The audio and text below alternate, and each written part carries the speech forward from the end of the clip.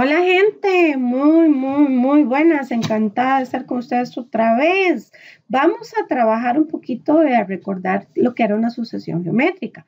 Recordemos que toda sucesión parte de un primer término y un caso de una geométrica tiene una razón común, por lo tanto será U sub 1 por R el término que sigue y U sub 1 por R a la 2 el tercer término y U sub 1 por R a la 3 el término que sigue.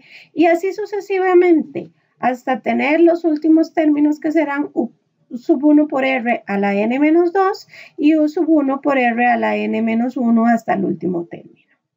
¿Qué diferencia una sucesión geométrica de una serie geométrica? Pues es exactamente lo mismo, nada más que en una serie es una suma. En la sucesión tenemos los términos separados por comas. En la serie geométrica tenemos los términos separados por sumitas. ¿Ok? Entonces acá estoy escribiendo la misma sucesión geométrica que tenía, pero al estar separados por sumas, se convierte en una serie geométrica. ¿Ok? ¿Qué vamos a hacer ahora que tenemos esta serie geométrica? Esto es tener la suma de los n cantidad de términos. ¿Qué vamos a hacer ahora? A todo cada uno de estos términos de la sucesión los voy a multiplicar por R, por la razón. Es decir, a SN la multiplico por la razón y así cada uno de los términos los voy a multiplicar por una razón.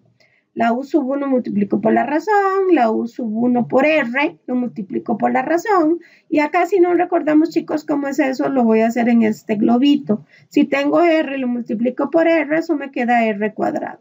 De manera que el segundo término quede R cuadrado. El tercer término tendría R cuadrado por R, o sea, R a la 3. Recordemos que los exponentes se van a sumar. U sub 1 por R a la 3 más U sub 1 por R a la 4, más porque a cada uno de estos términos los estoy multiplicando por R. Al tener n menos 2, le sumo 1, o sea, me va a quedar n menos 1. Más U sub 1 por R a la n. Una vez que tengo estas sumas, las voy a restar. Voy a restar la sucesión que está escrita en verde menos la sucesión que está escrita en celeste. De manera que entonces me percato que tengo, por ejemplo, un U sub 1R arriba que lo voy a restar con un U sub 1R abajo. Como los restos son el mismo valor, nos va a dar 0. Igual con el U sub 1R a la 2, como son el mismo valor y los restos nos va a dar 0. Igual con el U sub 3, como son el mismo valor y los estoy restando, nos da 0. Y así sucesivamente entre cada uno de los términos que vaya encontrando, hasta llegar al último término de R a la n-1, que se cancelará con este R a la n-1. De manera que únicamente me quedó un U sub 1 en la parte de arriba y en la parte de abajo menos el U sub 1 R a la n que está abajo. Acá procedo a sacar factor común. ¿Qué es sacar factor común? Identificar lo que hay de común. En el caso del lado izquierdo tengo un SN de común, una suma de los enésimos términos. ¿Qué me sobra? 1 menos R. Y del otro lado, ¿qué identifico? El U sub 1 de factor común. Entonces, saco U sub 1 de factor común y me sobra 1 menos R a la N.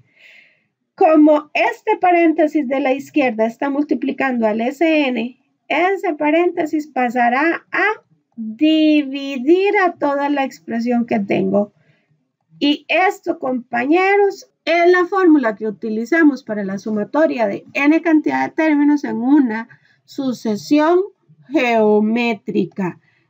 Similarmente, si les factorizo un menos, me queda la expresión u sub 1 por rn menos 1 sobre R menos 1, que también es una fórmula equivalente a utilizar para la sumatoria de los n primeros términos en una serie geométrica.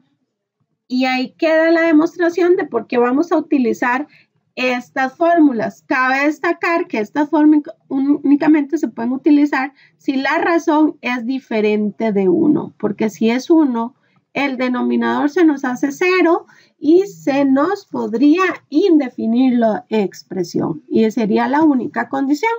Espero que les haya gustado esta demostración.